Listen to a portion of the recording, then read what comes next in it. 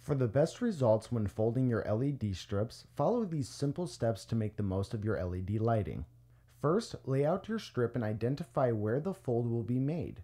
You want to make sure that you do not bend any diodes, resistors, or solder joints. You will now begin by folding the flex back at a 45 degree angle in the direction opposite the corner you need to round.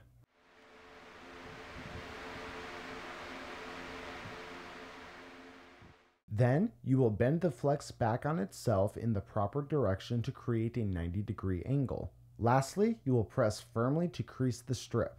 If desired, you can use a dab of super glue to secure the fold in place.